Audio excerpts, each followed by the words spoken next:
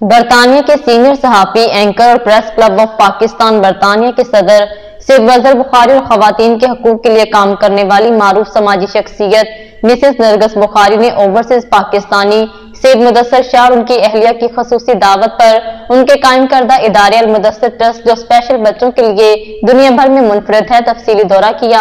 हमें रिपोर्ट कर रहे हैं आरिफ चौधरी।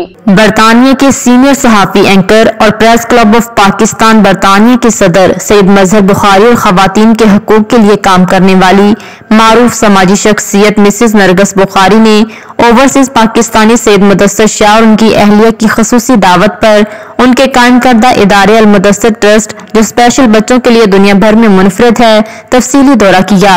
सैद मुदसर शाह और अदारे के मैनेजर ने उन्हें कॉलेज के हर डिपार्टमेंट का दौरा करवाया।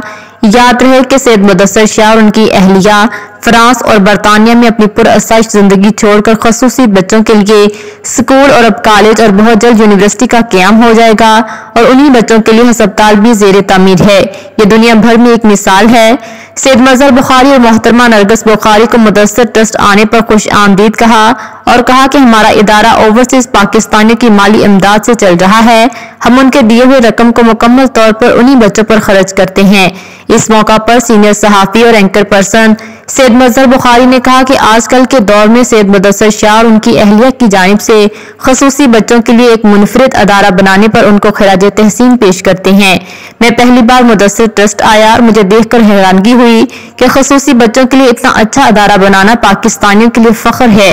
मैं दुनिया भर के ओवरसीज पाकिस्तानियों से भरपूर अपील करता हूँ कि ऐसे मिसाली इदारे की भरपूर माली इमदाद करें। जेर तमीर यूनिवर्सिटी और अस्पताल देखकर खुशी हुई और मैं बरतानिया जाकर खुद भी ओवरसीज पाकिस्तानियों के साथ मिलकर अदारे के लिए फंड्स इकट्ठा करूँगा।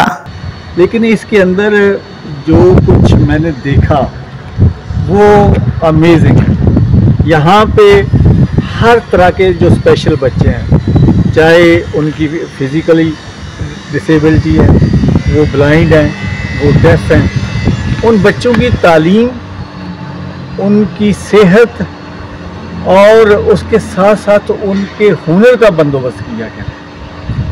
ये इतना बड़ा प्रोजेक्ट है, यानी 105 कनाल के ऊपर मोहित ये एक प्रोजेक्ट है।